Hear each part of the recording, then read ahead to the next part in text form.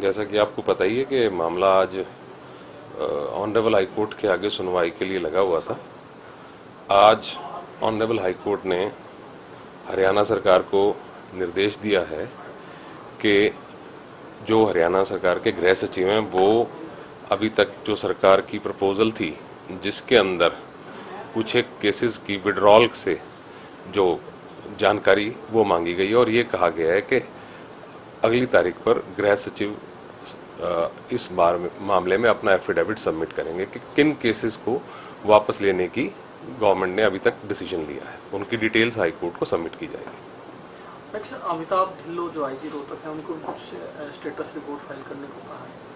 Mister Amitabh Singh Dhillon को इन जो आरक्षण से हुई दौरान जो हिंसा हुई थी उससे संबंधित केसों की इन्वेस्टिगेशन के लिए माननीय हाई कोर्ट ने एसआईटी इंचार्ज नियुक्त किया था और उनसे अब तक की जो जाँच उन्होंने की है उसकी स्टेटस रिपोर्ट मांगी गई है जो कि वो अगली डेट पे कोर्ट को देंगे। क्या अगली डेट उसके अंदर अब अगली डेट जो है 21 मई लगाई गई है।